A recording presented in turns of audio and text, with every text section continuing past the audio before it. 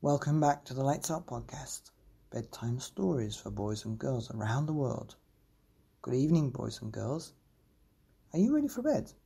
Are you all wrapped up, tucked up, snuggled up, ready for another Lights Out bedtime story? Well, you're in for a treat tonight because we have a book called Toys Galore.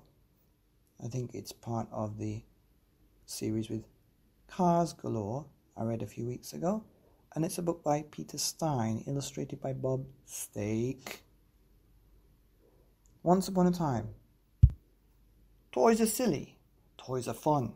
Who loves toys? Everyone. This toy has a lot of flair. What other kinds of toys are there? It's good to know and nice to share. Round toys, square toys, earth toys, air toys. Spring toy, string toy, what a thing toy, Small toy, tall toy, bouncing ball toy, hat toy, shoot toy, stretchy goo toy. Toys and more toys, sandy shore toys, climb it, find it, let's explore toys. A silly city made of blocks, a romping robot cardboard box, puppet creatures made of socks. Pots and pan toys, use your hands toys, sharing secrets with a tin can toys, Squishy clay, you're fun to play with. Squeeze and squash and sculpt all day with. Toys for tea time, fun time, free time, bouncing knees. We're toys for wee time. Zippy quick, remote control toys, jumping, blasting, rock and roll toys. Fairies, gnomes, and ugly troll toys. Floaty, bubbly while you wash toys. Struggling, juggling, oh my gosh, toys. Toys and toys and zillions more toys. Whirling, twirling, toys galore toys. Jump toys, ride toys, slip and slide toys, up and down and side to side toys, toys for one and toys for all, ping pong jacks and basketball. Look out below! Phew! Close call.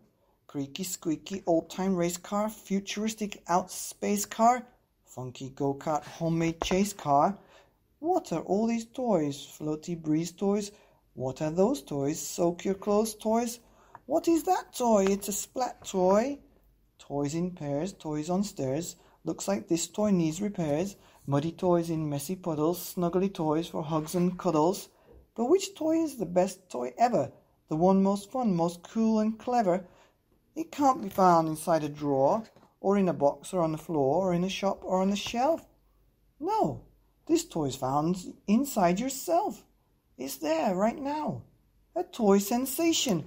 Your very own imagination the end. And Toys Galore. Wow, what a book that was. By Peter Stein, illustrated by Bob Staake. And the best toy in the world is your imagination. As you go to sleep, I want you to flex that muscle of imagination, the toy that beats all other toys. Here on the Lights Out podcast, bedtime stories for boys and girls and toys galore around the world. Good night.